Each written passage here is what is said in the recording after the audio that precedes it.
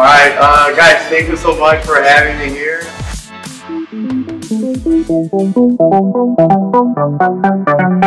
And I go over my shoulder here.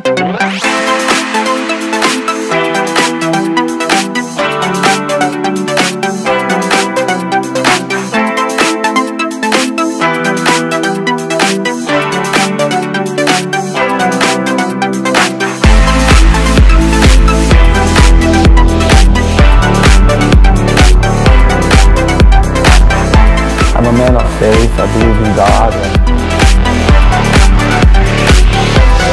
if you have passion with anything in life, embrace it, right? That's your call. Cause we're gonna be. Gonna get their attention. What we're doing here ain't just scary. It's about to be legend.